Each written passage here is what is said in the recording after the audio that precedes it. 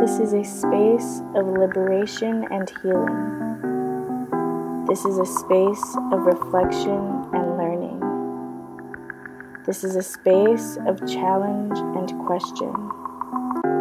This is a space to let your soul dance. Welcome. A body inside me reminds me of oceans that I've never known one. I'm born by a cold one, it's only a small one compared. This week I'm feeling many different emotions. They're all on top of each other, and I feel like everything's gonna be fine, but then I feel like everything's just falling down around me. And I also feel like I think the reason why I'm feeling like this is because I keep comparing myself to others. But I'm staying in my lane and um, I'm not going to stress myself over everything. And blessings is coming my way little by little. I'm going to be living my life like it's golden. My day has been disgusting. I would give this day a 2 out of 10. Everything about today has not made me happy. Like, if y'all know me, I laugh all day, any day, anything. I don't think I cracked a laugh at least none today. Like I just been really stressed out with the schoolwork, like trying to make sure that I'm like taking doing self care.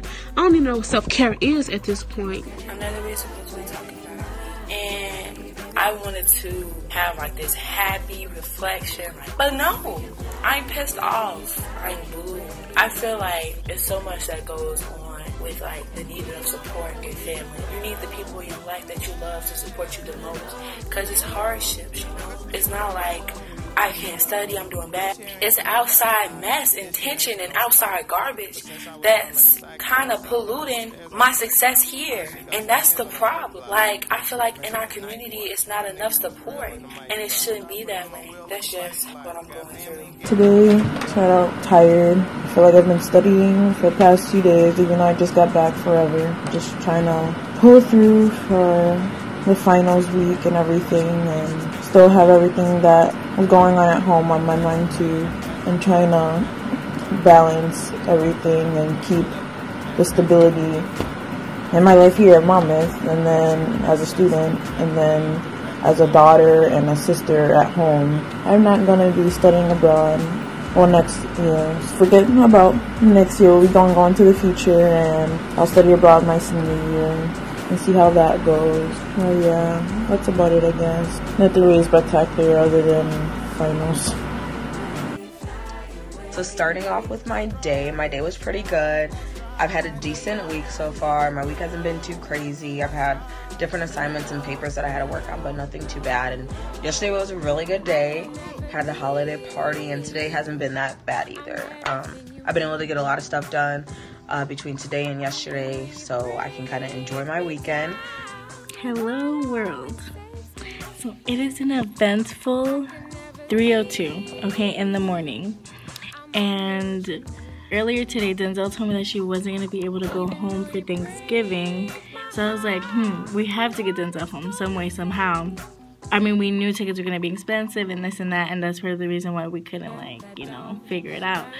But, like, an hour ago, it came to me that, like, Denzel needs to go home. So, like, I go on amtrak.com and I, like, put in all the information, and there's one ticket for $17. So, basically, I was like, holy and Marilyn's here with me. I was like, Marilyn, we gotta buy this ticket. Like, that was for her. Like, that's Denzel's ticket. That's why, like, I'm awake right now and, like, can buy the ticket. And, like, she can, you know, go home for Thanksgiving. Yeah, so I texted Denzel. She was probably asleep. It was, like, 2 in the morning. She asked me, like, how I did it. I'ma just quote Terry when she said we have God moments and who you know there's just really no explanation for it. Like who else is gonna be up this late doing a research paper that's due in like two weeks um, and wanting to buy this ticket? Me! I know like is god doing his work. It's our our ancestors doing their work and ensuring that we can take care of ourselves now and like in the future. I just got my glow today actually. Um, I realized how much I miss being a mentor to people even if my work went unrecognized. Yeah. And my girl, I I need to work on letting people who has who have power not control how I feel about myself. My girl, I'm not too excited to go home because there's some things going on at home that I'm not prepared or ready to confront, I guess. My glow last week and the beginning of this week has been very busy and I've been working and doing all my meetings and everything. But today I just went to one class and had a mo- moment of solitude. So? My glow is I watched um, clothes yesterday.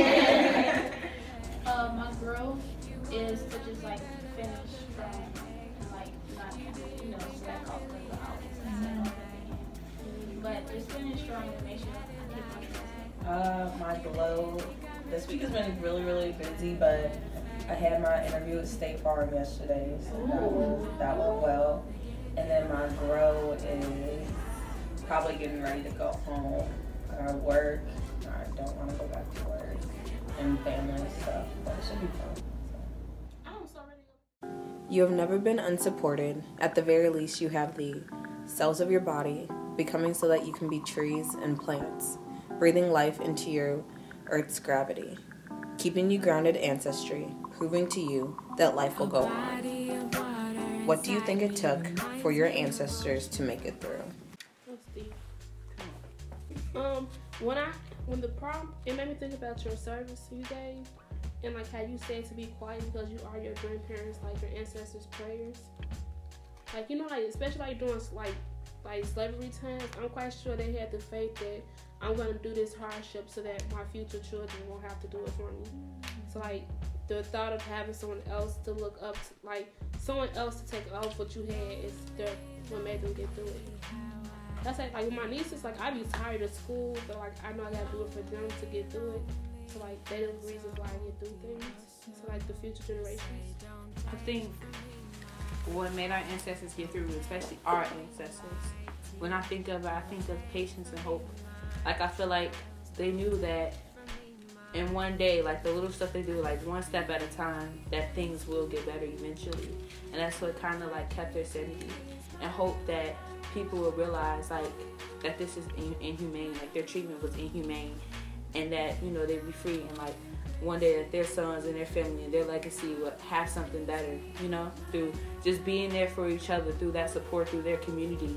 You know, I feel like is what really unified them and what allowed them to pretty much survive through like the hardships that they went through. You know, like through that, like through that community and through their own hope and patience, they were able to push through.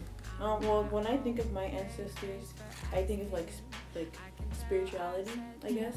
With ancestors, I think of spirituality, and because my dad would always say, like, your ancestors are in you, like you have their blood. Mm-hmm.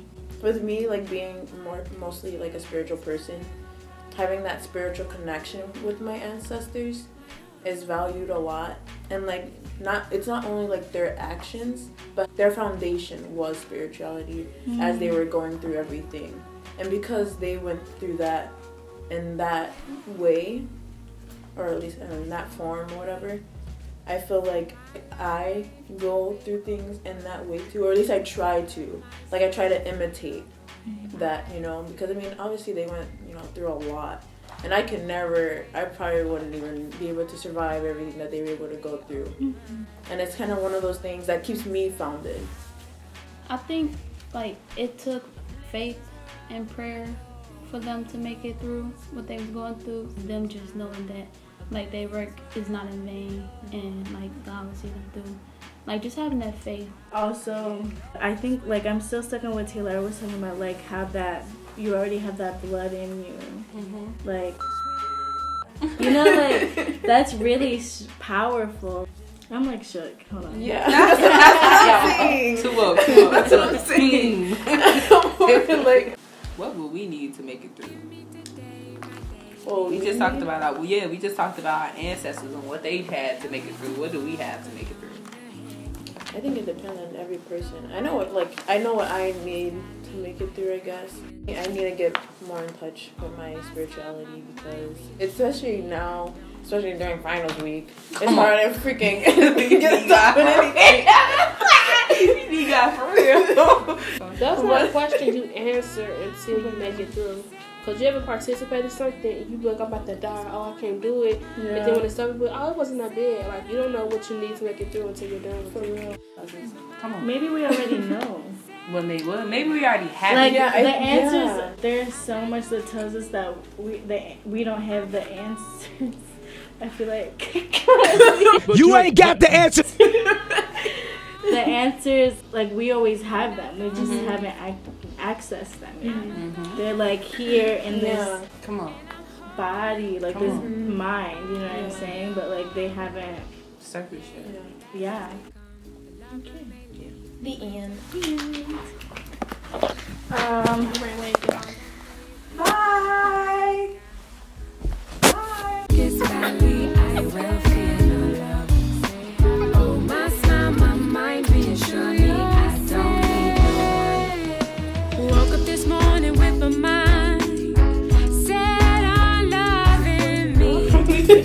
Thank you.